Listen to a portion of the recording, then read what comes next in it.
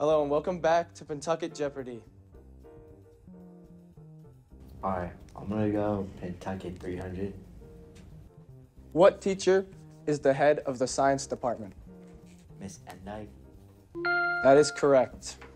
Ava, it's your turn. What question do you want to choose? Uh, Pentucket 400. What is the name of the custodian that retired last year? Hint, it was a male.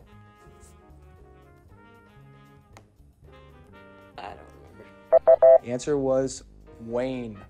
Mr. Bixby, Take Pentucket 200, please.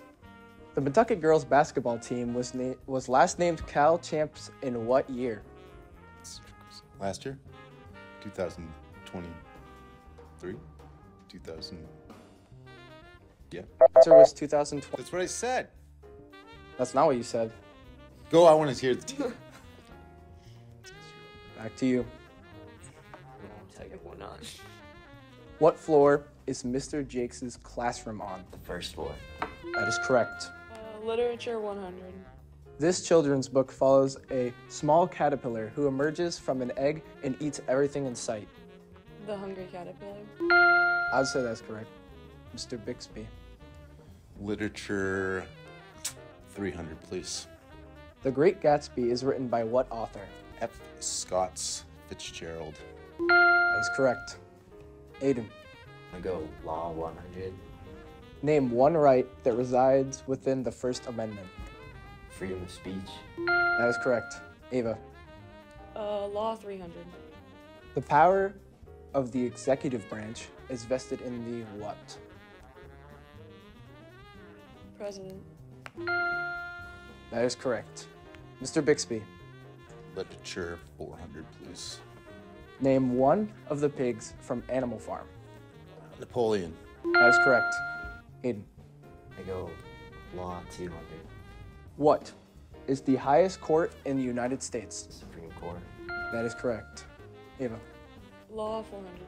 The arresting officer must advise the person being arrested of these rights the right to remain silent, the right to an attorney, etc. Your Miranda rights. That is correct. Mr. Bixby. Literature 200, please. This novel follows the chronicles of Scout and Jem Finch as their father Atticus defends a black man falsely accused of rape. To Kill a Mockingbird. That's correct. Now that all the questions are done, we're going to move on to Final Jeopardy. Contestants, put in your wagers.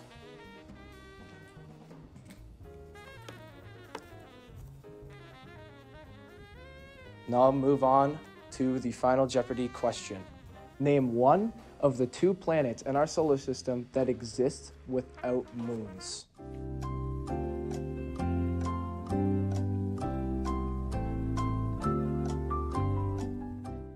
Aiden, let's see your response.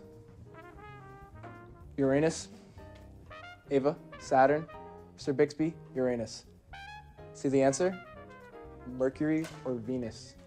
Looks like Aiden is the winner of Pentucket Jeopardy today. Aiden, congratulations. How do you feel after winning? I actually feel pretty confident. I was coming in a little nervous, but now that I won, stakes are up. Well, that's great to hear. Thank you and have a good night. We'll see you next week.